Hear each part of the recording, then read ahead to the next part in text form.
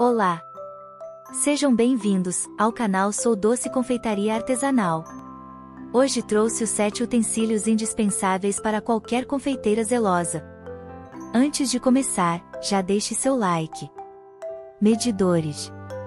O sucesso de um bolo depende da proporção correta dos ingredientes.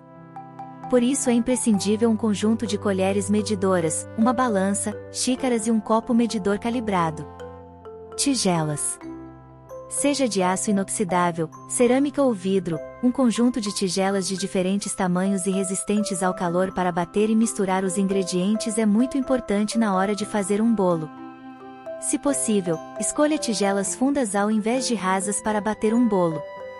Peneiras. Se possível, tenha em mãos duas peneiras fortes e finas, de aço inoxidável ou plástico. Uma grande para peneirar ingredientes secos, farinha, fermento, açúcar, e outra menor para peneirar açúcar de confeiteiros sobre o bolo. Espátulas. Use a espátula de plástico flexível ou borracha para raspar o resto de massa da tigela ou nivelá-la na forma antes de assar. Ela também é bastante útil para incorporar os ingredientes delicados, como claras em neve, a massa do bolo.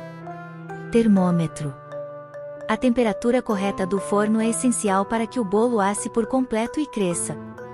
O ideal para quem cozinha com frequência é comprar um termômetro de forno, inseri-lo na grade do seu forno e medir a temperatura real do mesmo após 15 minutos de ligado. Formas. Estão disponíveis nos mais diversos formatos e tamanhos. Retangulares, redondas, de aro removível, com furo no meio, de bolo inglês. Use de acordo com o que a receita recomenda. Balança.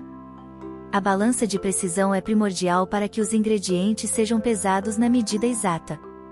Faz muita diferença ser fiel às medidas solicitadas em cada receita. Não tente dar um jeitinho. Gostou do conteúdo? Então agora gostaria de te convidar a se inscrever no canal para não perder nenhuma dica ou receita que estou preparando para você. Sou Doce Confeitaria Artesanal.